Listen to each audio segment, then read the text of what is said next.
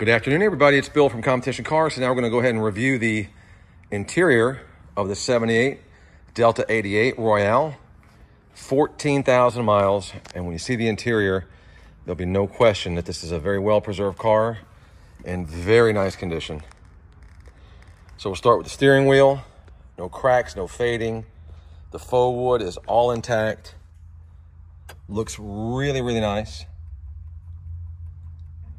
air condition, AM, FM, rear defrost, cruise control, working clock.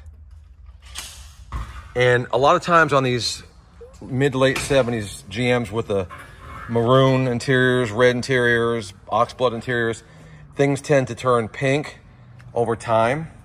There's none of that with this car. As you can see, deep dark red coloring, Royale badge, Power windows, power locks, power seats, tilt, and cruise control.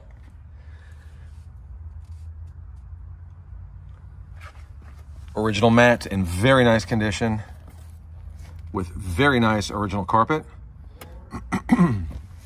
Again, all the faux wood on the dash looks great. Put a new headliner in it, so that's brand spanking new. It was sagging a little bit, so we redid that. The divisors as well, so everything would match.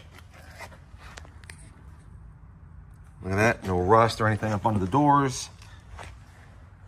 All the door jambs are very crisp and clean.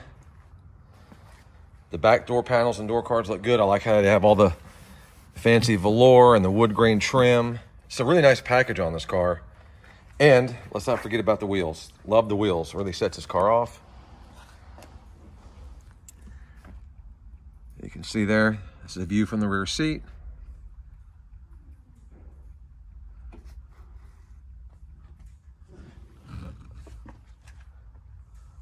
Back seats look spotless, just like the front seats. Coming around to the back of the car, got a trunk full of goodies. We have the owner's manual, the warranty booklet, the consumer information guide, uh, information for the Delco AM FM stereo, the original sales receipt. And I want to say this is a one owner car, so let me just confirm that.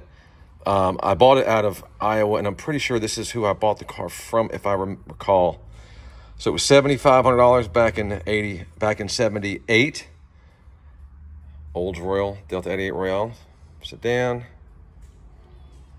So you can see what options, has some good options on it. It's actually pretty darn loaded, actually, which is nice. Some service receipts, maintenance schedules, all that stuff.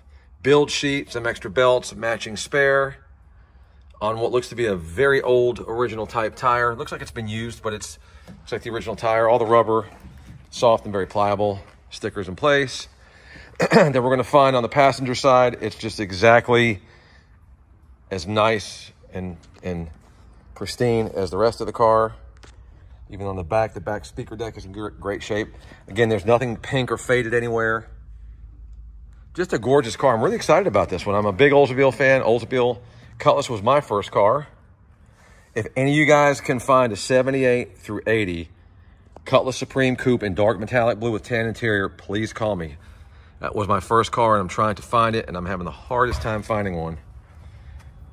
I can't even find a rough one, let alone a nice one. So, so there's the interior. Let's look at this carpet here so you can see that everything looks new and fresh. This is not replaced carpet. This is original carpet that's been maintained and held up very nicely. So there it is, guys. Check it out. You'll see this on YouTube. Car will be for sale and bring a trailer very soon.